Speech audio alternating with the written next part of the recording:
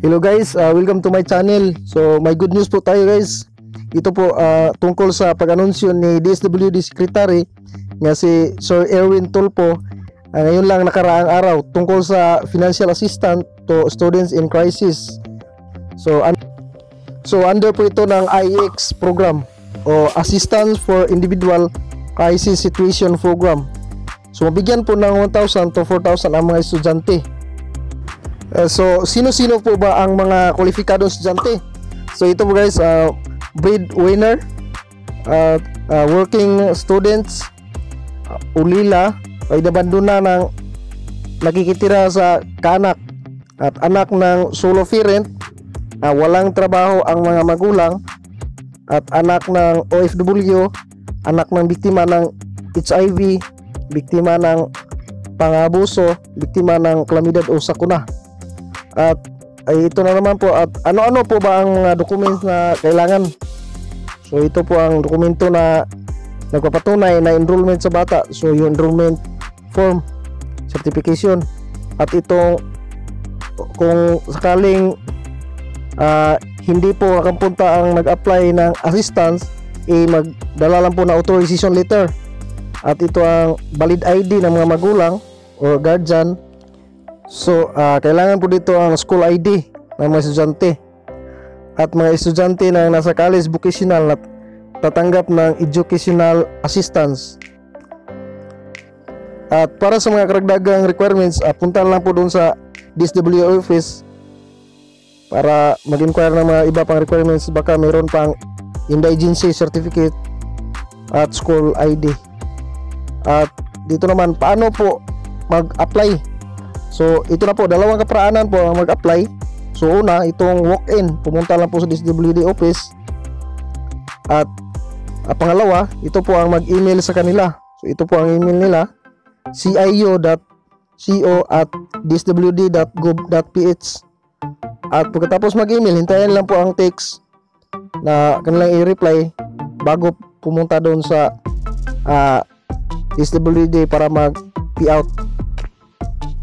At magkano po ba yung makuha uh, educational assistance payout? So ito po para sa mga elementary, uh, 1,000 pesos lang po at sa high school naman, 2,000 pesos at sa senior high, 3,000 pesos at sa vocational o uh, college, 4,000 po. So ito po ang mga uh, amount na pwedeng i-assistance ng DSWD. Uh, so hanggang kailan po ba ito? So ito lang po nag-start uh, bukas mag-start po August 20 2022 at uh, August 27 at uh, September 3 September 10 September 17 at last September 24 so anim na Sabado lang po. So bali anim na Sabado lang po ang pag-release po sa educational assistant ng uh, DSWD program under ng IX. At uh, ilan po bang limit ng bata na pwedeng makasali? So, tatlo lang po sa bawat uh, pamilya ang pwedeng masali. At maraming salamat po sa panonood. So, paki-subscribe naman po at like, comment at hit the notification bell para po updated po kayo sa susunod kong video. So, maraming salamat po. Uh, this program is under the uh, Assistance for Individual in Crisis Situation. Ito po yung programa na mag-uumpisa uumpisa po namin. Educational assistance po ito para sa mga bata, sa mga anak po ng mga mahirap nating kababayan.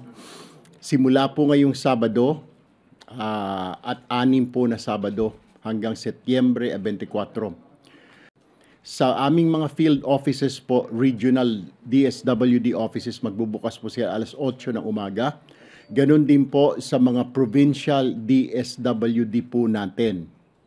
Ganon din po sa mga satellite offices po natin nationwide. Ano po ang mga requirements nito?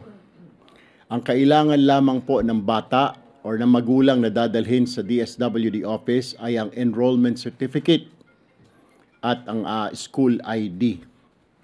Ngayon, sino po ba ang pupwede? Lahat po ng mga bata na anak ng mahihirap. Hindi lamang po solo parent.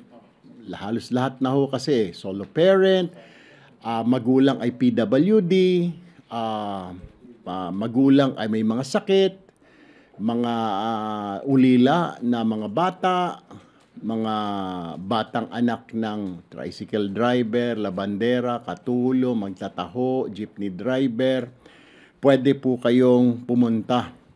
Okay? Para po doon sa mga bata, pwede po mga nanay na lamang ho, yung mga nasa elementary at high school, magdala lang po ng enrollment certificate ng mga bata or school ID. Para man po doon sa mga senior high school at college at saka vocational courses, pwede na ho kayo na mismo ang pumunta sa aming tanggapan.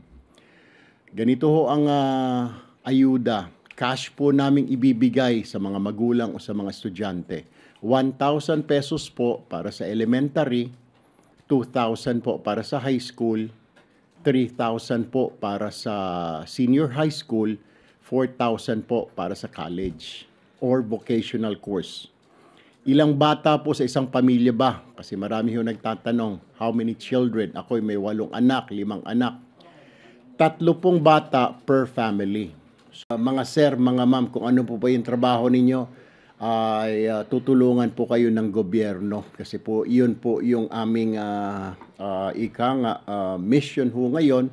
Tulungan po kayo. Kasi instruction din ho yan ng Pangulo na wala pong iiwan, pandemic recovery, lahat po ikasama pag-angat.